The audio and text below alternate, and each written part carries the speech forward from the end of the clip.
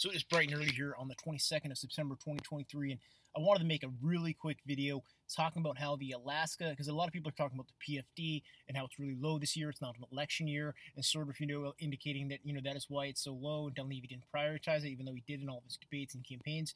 But really, we have to go back and revisit. And it was like Steve Stein. There's a lot of people on Twitter who were talking about the raise to the Alaska, uh, the legislators and the governor and the lieutenant governor's salaries. You know, went up from.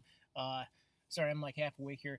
Went up to uh, from fifty thousand to eighty thousand dollars, and if you look compared to all the other state lawmakers, legislators' salaries around the country, it went up quite a bit. You know, I mean, a thirty thousand dollar raise is no joke. You know what I mean? And uh, is that I mean, wonder what people think. I think that that's too much. You know what I mean? Too much of a raise at one point. It's like if we were paying rent, if we were paying a storage unit or something like that, you can't just you know arbitrarily really like that raise it that much. It's not fair.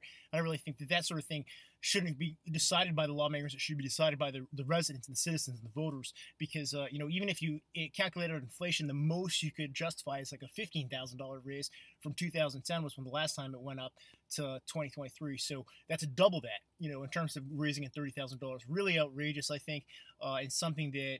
Uh, indicates that these guys, you know, a bunch of white collar workers, and none of them can say anything about a missing Marine veteran. And they're only working 120 days a year.